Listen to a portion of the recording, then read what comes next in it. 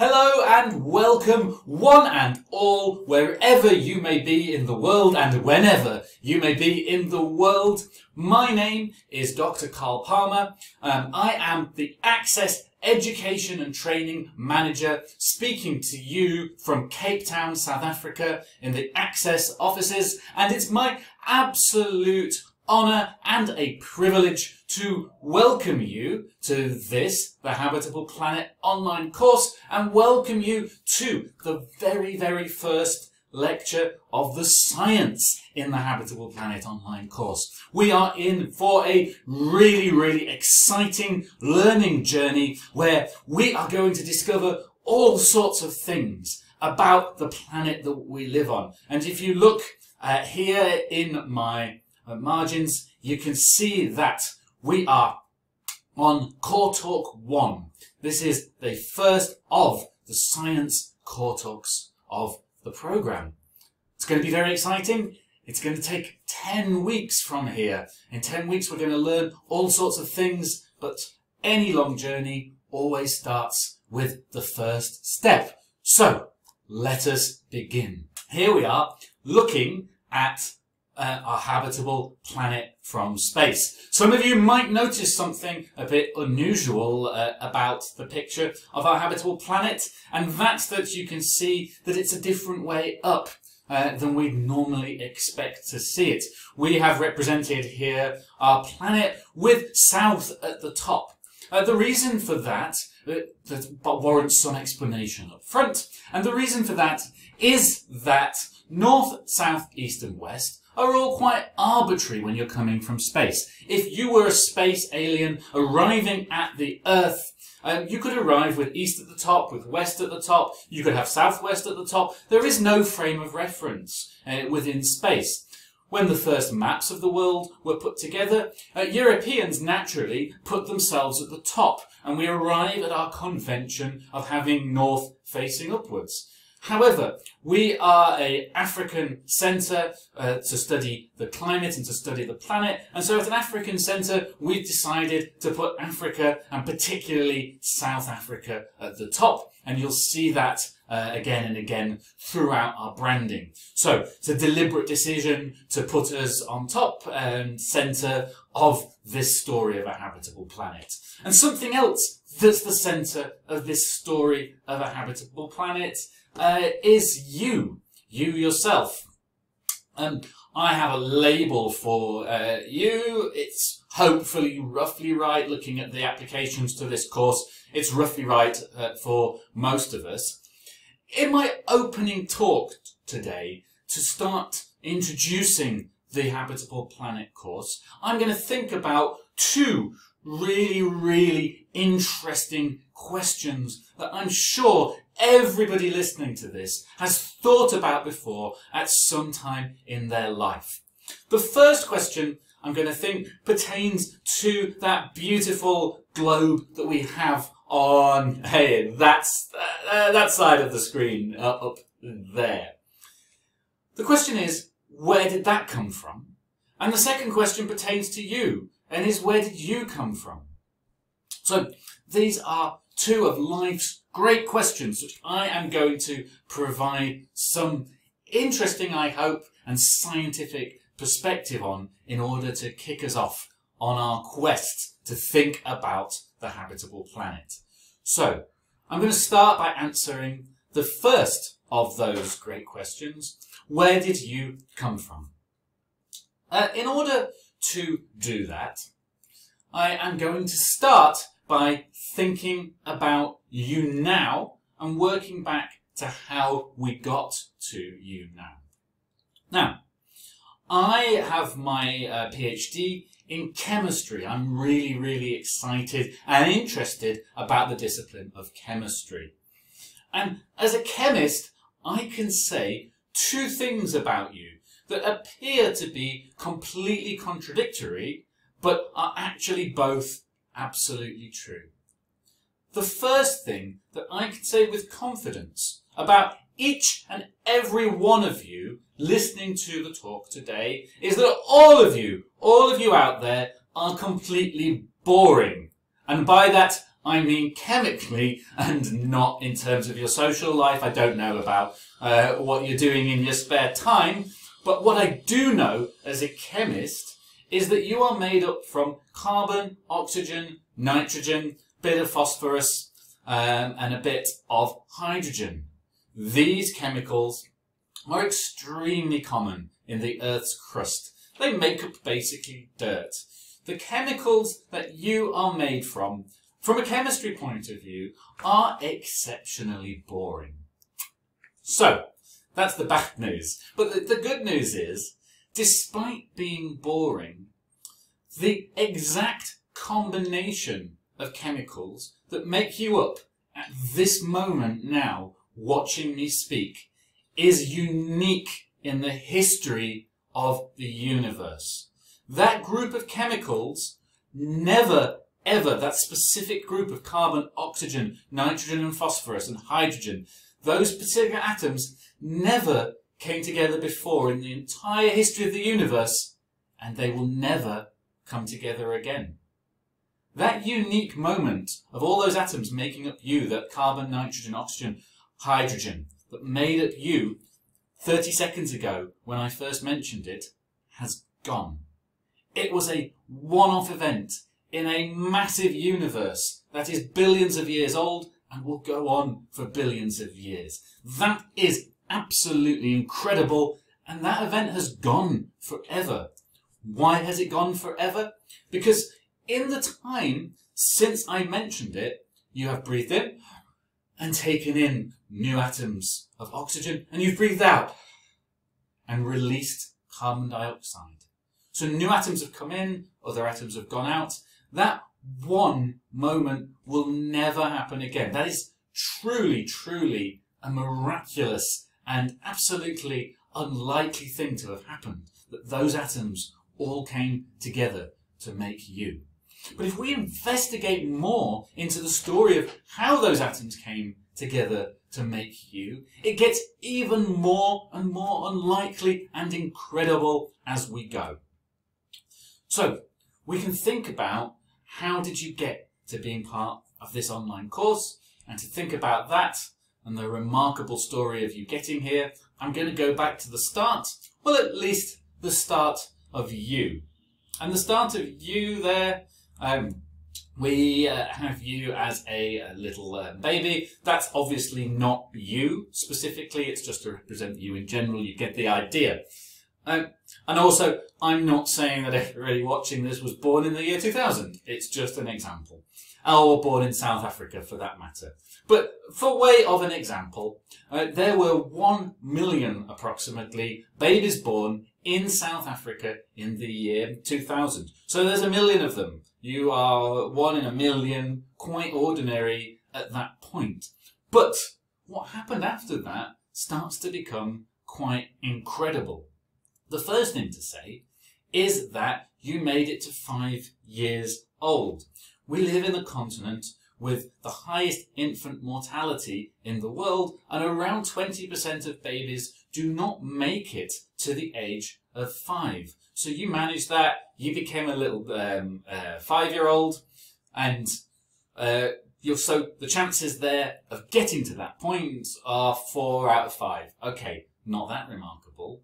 But then what happened is you graduated right? You've got yourself an education, you've got to varsity. Only 10% of the population make it to varsity. Fewer actually manage to get an undergraduate degree for those that have. And then you applied to be part of this online course and ended up sat there. The chances of getting uh, uh, your application in and accepted to these online course is very, very low, right? We only have a thousand out of that initial million. So suddenly you can see that the odds of you making this journey to being part of the online course and making that combination of carbon, oxygen, nitrogen and hydrogen that was sat in front of your computer five minutes ago is less and less and less at every step. It becomes quite a remarkable and unlikely journey that you took to get here. That in itself, to make up that combination of atoms, would already be a remarkable story that is exceptionally unlikely. However, we can make it even more interesting and see the even more exceptional and unlikely nature of your journey if we take it back even before you. Because this little guy up here actually isn't the start of how those atoms ended up together for that once-off unique moment in the universe making you um, just five minutes ago. Because we can think a little bit back about what was the story that made you originally. Now, I'm afraid I have some bad news for those of a sensitive disposition that uh, the following story has a little bit of a trigger warning. We are going to have to think about some things about your parents that may be a little bit uncomfortable for a few of you.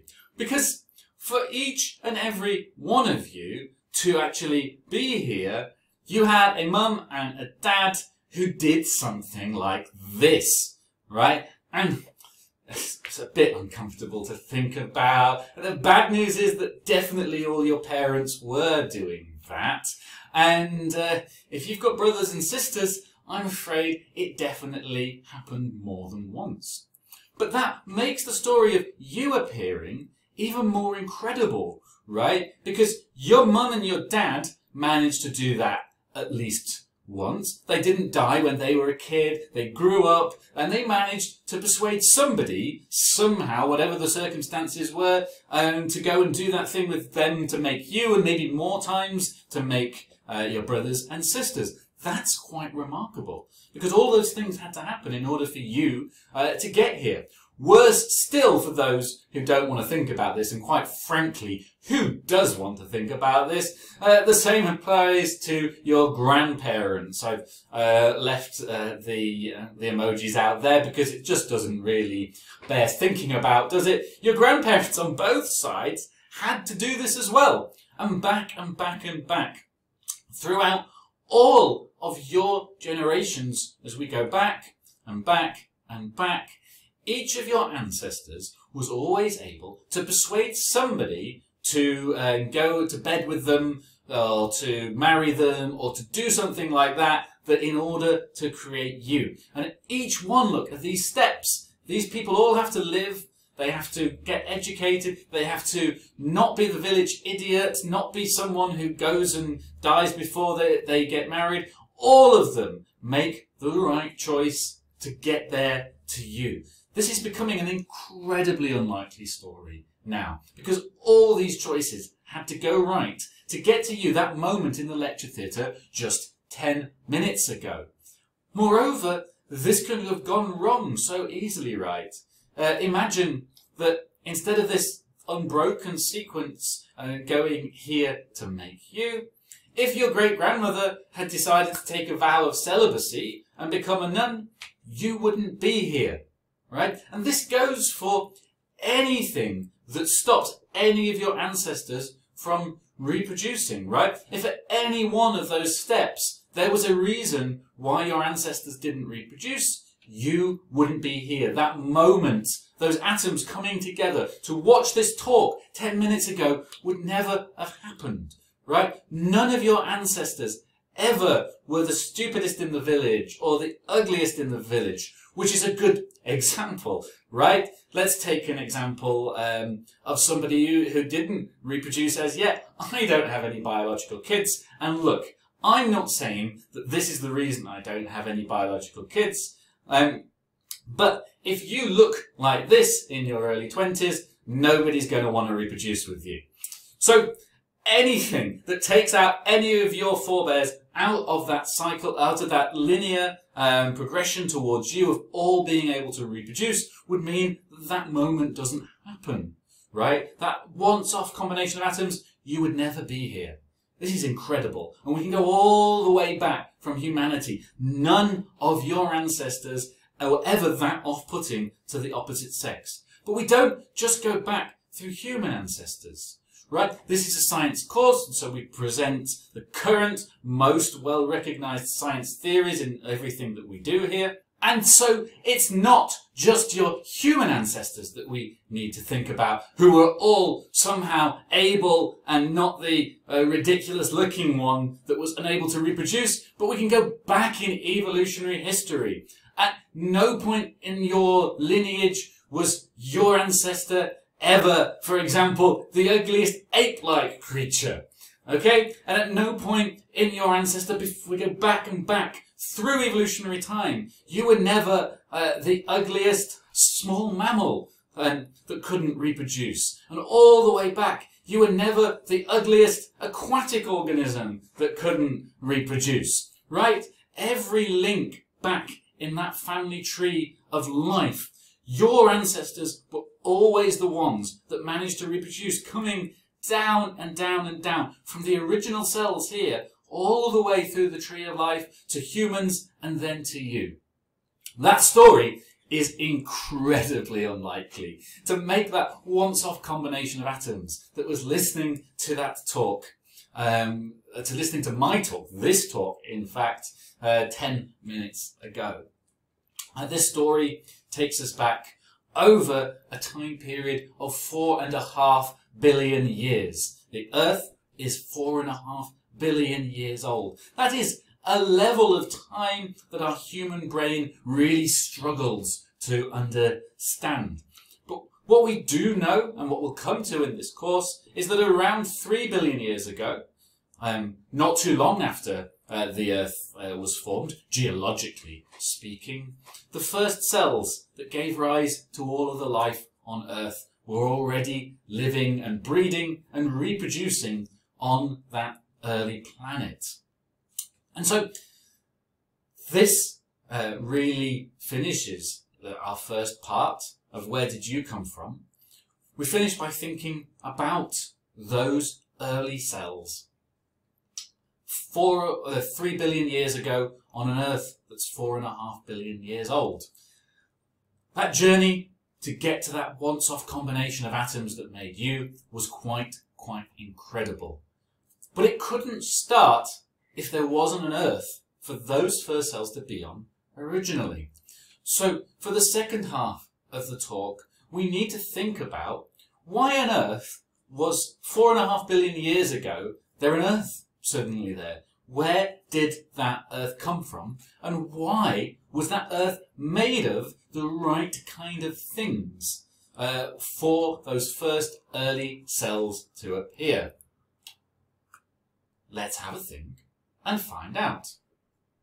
So, to think about where the Earth came from, we have to think even further back in time to where the universe itself came from.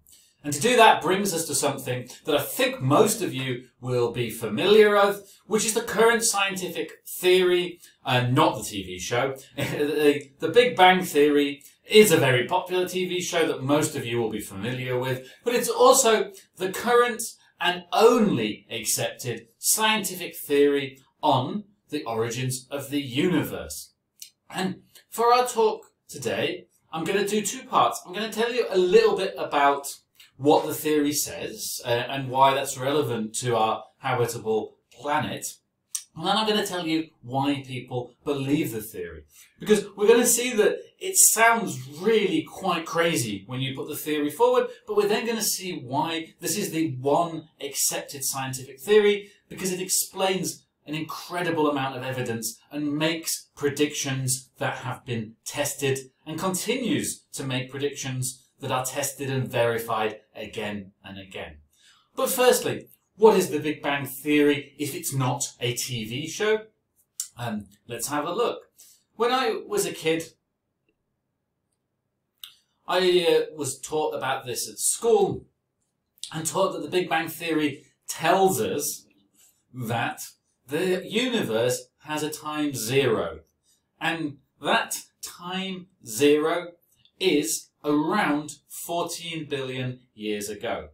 Now, firstly, when we're told that it's around 14 billion years ago, I want to be clear that doesn't mean that we don't know uh, almost exactly when time zero is. It's just 14 billion years is such a big number, and to be precise would take forever. The actual number is 13.9734. It would go on forever. So you'll hear people say about 13.9 billion years, about 14 billion years, or even about 15 billion years. This is just rounding off because the number is so big, it would make no sense to reel off all of those digits, and 15 billion in our head is probably about the same as 13.9 billion. It's a huge number, right? And one that's really tricky to get our head around. So we have a, a fixed time zero to the universe around 14 billion years ago, and at that time zero, the physics tells us that everything that is contained within the known universe was all compressed down into one infinitely small dot.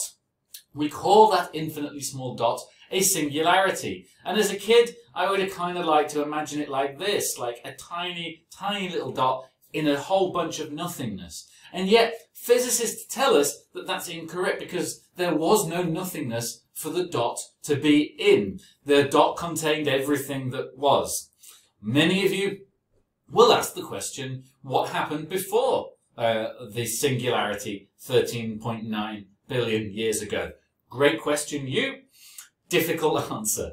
Um, I mean, firstly, we don't have any evidence for that. Science looks at uh, a body of knowledge of things that we have evidence for. But the second thing to say is that the minute physicists tell us that time was also created in the Big Bang. So 13.9 billion years ago, time was created. And asking before, what happened before time was created is a meaningless question because before is a measure of time. It plays with your mind. We don't need to worry about it too much in the context of this course. We're more interested in what happened after the Big Bang. And so after the Big Bang, um, we have what's happened represented on this diagram. Now, there's lots of text on this diagram. I don't need you to be reading that. I'm going to guide you through the important things that we want to see from it. And by the way, I downloaded this from the internet. You can do it too. It's uh, very, very easy to go find online. So, uh, what does it show? This is our time zero, which is about 14 billion years ago. This is now, as you can see, it says 15 here. These are all just approximate, the present day. Uh, at this side of the diagram, we have the singularity at time zero. Excuse me. And the universe is very, very small, and because everything is compressed, very, very hot. You can see after just a fraction of a second into the life of the universe, um, we have a temperature of 10 to the 27 centigrade. It is very, very small and very, very hot. And as we move from time zero to today, the universe gets expands, it gets bigger and bigger and bigger and colder. And by today, we have something that is massive and freezing on average, minus 270 degrees. Okay, so time zero, compressed and hot, by now spread out and cold. So we can now ask the question, what does this tell us about the habitability of planet Earth? And so the first thing to note is over on this side, it's very, very compressed and very, very hot. Physics doesn't work like we need it for a habitable planet. The first really important thing to note is that we know that after just a fraction of a second, we get gravity forming. And now gravity, right, is really useful for habitability because if we didn't have gravity, we'd all float off the planet. So very, very important development.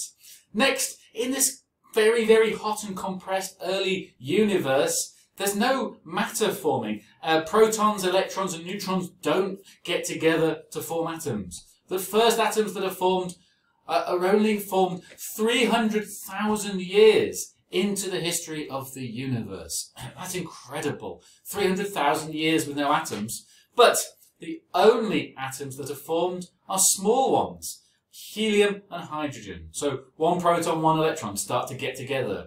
And two protons um, and two electrons start to get together to form these tiny atoms. But you'll remember when we were thinking about the journey of you to the lecture theatre, you're made of carbon and nitrogen and phosphorus. Where did those things come from to make you? to make those things, we need something like a giant nuclear reactor that will force helium and hydrogens together, right? Helium and hydrogen nucleuses, they don't want to go together. They're positively charged. What could do that to make the heavier elements down the periodic table? Those things are called stars. And stars didn't form until nearly the billion years into the history of the universe.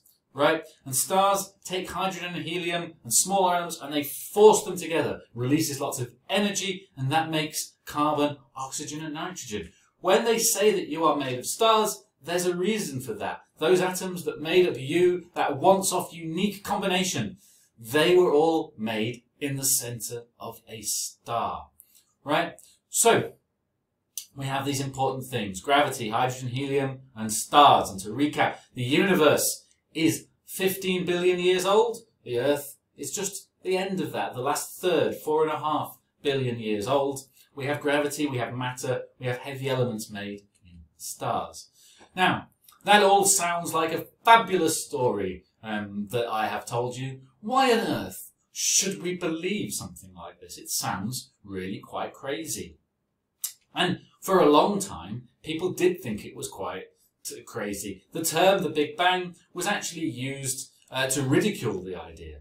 In order to understand why the Big Bang went from something that was uh, ridiculed by many scientists to the one and only leading theory on the origins of the universe, we need to revise a little bit of high school physics. The first thing to revise is something called the Doppler effect. Now, many of you may remember the Doppler effect from high school. Some of you may remember the Doppler effect from Sheldon's t-shirt within the show The Big Bang Theory. Whichever way you remember it from, let's have just a quick revision. It involves the way that we experience a wave differently, whether we're, depending on whether we are moving towards or away from the wave. So you see here a wave depicted on the screen. Uh, and if I hover my cursor around here, we can see a feature of a wave, which is called the frequency. It is a very common feature of waves. The frequency just tells you how frequently one of these peaks hits my cursor. And you can see that if my cursor is roughly in the same place, we have one peak, we have two peak, we have three peak. The peaks are hitting my cursor about once every second, so we'd call that a frequency of one per second. Now look what happens if my cursor moves relative to the wave. Um, now, instead of staying relatively still, we move this way. One peak, two peak, three peak, four peak, five peak. My cursor interacts with the peaks more often, more quickly. That means the frequency is higher. It has moved to a higher frequency. And conversely, if my cursor moves away from the peaks, then the peaks reach it less quickly, the wave becomes at a lower frequency. We all are familiar with this effect. When a car approaches us, we hear that distinctive meow. When the car is moving towards us, the waves get bunched up and we get a higher frequency. And in sound, a high frequency is the ah sound. Uh, as the car moves away, meow, we get the lower frequency, the ah sound. So that car noise would be absolutely the same if we were sat in the car, but if we're moving relative to that car, we experience it differently. Now, we know that sound travels as a wave, but something else that famously travels as a wave is light. I hope we all remember from school, light is part of the electromagnetic spectrum, travels uh, as a wave, and we'll come to more about what light is in our lecture on light and air. I think that's next week. Um, suffice to say, for now, that um, what we need to remember about light is that the long wavelengths, the equivalent of the low sound, is the red side, and the high wavelengths is the blue sound, the equivalent of the ah um, side. So um, long wavelengths, short wavelengths, uh, low frequency, high frequency. Red is low frequency, um, blue is high frequency when it comes to light. So with this knowledge, we can start to interpret and understand some of the first observations that led us towards the Big Bang Theory. And this is simply to note that when astronomers started studying distant stars, they would point their telescopes to them and they would note that, that all distant stars have something in common. All of them are more red than they should be. And the colour of a star is proportional to its size. It should be clearly uh, distinguishable and predictable. And yet, every star that they point their telescope at is more red than it should be. Now, I hope that from seeing the Doppler effect now, um, you can all interpret that, that we know that an object moving away from us appears more red. It's referred to as a red shift. I have even dressed accordingly um, uh, in, in keeping with the topic today. So, the fact that all objects in the sky appear to red means that they are all moving away from each other. And so it's not a big leap if we apply Newton's laws that all objects keep on moving in the same direction, in the same trajectory, unless an external force operates on them. Well, there are no external forces in space. So if everything is moving away from each other now, and we rewind time, everything was back in the same place at one point. And then all we have to do is look at how fast the objects are moving away and predict when they were all together is quite a simple calculation to come to that start of the universe. Now, obviously, this was a scientific theory that needs testing, right? We need some evidence before we believe uh, in science and before we document this as a well uh, rigorous and robust theory, more evidence is needed. Now, there is lots of evidence now to show that this definitely, definitely was the start of the universe and that the Big Bang genuinely happened. I don't have time to go through all of it. I'm aware I've already run over because I talk too much. And the first thing that you need to understand, to think about, um, in order to understand the evidence for the Big Bang, is to know that this theory was first proposed in the 1950s by theoretical physicists. Theoretical physicists don't have a lot of money. Now they said, look, uh, if this, we're proposing that this big explosion happened 13 billion years ago. And they said, if that happened, we would see an afterglow of that explosion today. Here in South Africa, we like to braai. Uh, when you have a braai, you have hot coals the night before. The next morning, the coals glow a dull red colour. And so what the physicists were saying was that if there had been this big explosion, which was the Big Bang, it was intensely hot, by today we would see an afterglow of that explosion at a very specific frequency. It was a microwave frequency. And they said, because everything in the universe was involved in that Big Bang, you would see this afterglow everywhere. It would be throughout the entire universe. And they said, you know, there was, that would be a huge, there would be no way that you would see that everywhere in the universe if it wasn't specifically from this event that started the universe. So finding that microwave background radiation, finding the fact that everywhere there was microwave radiation in the universe would definitively prove that the Big Bang happened. But they didn't have money. They didn't have a telescope. You know who does have money in the 1950s? It's TV people. And these are two of them. Their names are Penzias and Wilson. They are very, very famous these days for what I am about to tell you. They were working in TV and radio uh, in the 1960s and they thought that they could use microwaves to send and receive TV and radio signals across the Atlantic uh, so that you could get American TV in Europe and um, probably vice versa. They had money, right? They had the bucks and they built this receiver to receive the microwave signals. But they had a problem. Wherever they pointed their receiver in the sky, they got this interference uh, this microwave radiation that was coming from absolutely everywhere. Now, these guys knew nothing about the Big Bang, um, but I'm hoping you can see the fact that, that wherever they pointed this telescope gave this microwave radiation has actually proved the Big Bang theory, right? Because that was the one specific prediction that it made, that this microwave radiation would be there everywhere, and these guys, they see it everywhere. But they knew nothing about it. The story goes that they wrote up about how their telescope wasn't working and was picking up this microwave radiation from all over the sky, wherever they pointed it, in a magazine about TV and radio. And one of the physicists who was working on the Big Bang uh, read this uh, magazine in the doctor's surgery, realized that these guys had proved the Big Bang. The story also goes that they won the Nobel Prize for, for proving that the Big Bang happened, but that they only realized how they had done it and the real uh, way that their discovery clearly demonstrates the Big Bang when they read about their Nobel Prize story in the newspapers the next day. That doesn't sound likely to me, but it's a good story, so I'm going to tell you it anyway. But what is true for sure is that these guys definitively prove that the Big Bang actually happened. There's a bunch more evidence about this microwave background radiation. This shows how it varies across the sky. And the main headline that I want you to take is that for the next 70 years, no one bit of evidence has not been in line with this theory. Every test of the Big Bang Theory produces uh, success. It is always passed any test. It explains the presence of the universe clearly and it explains why the universe is like it is. There is no other theory going.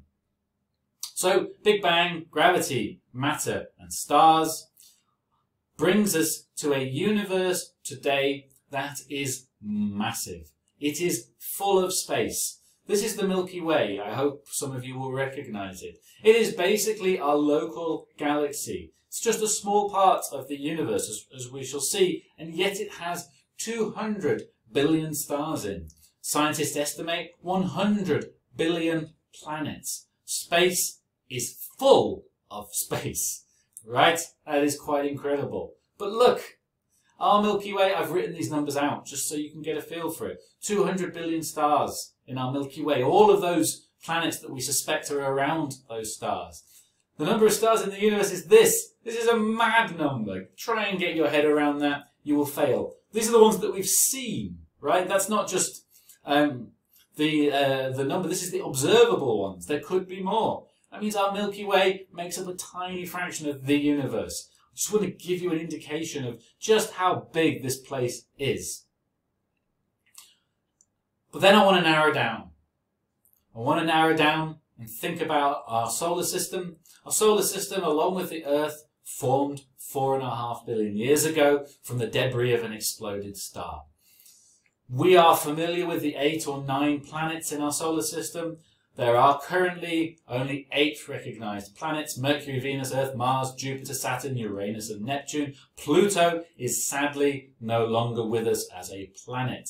Uh, it is not big enough, has not cut out an orbit enough, and there's many other objects that are labelled here around the same size as Pluto. So we're down to our eight planets. When I was at school, those eight planets were the only planets known in the universe.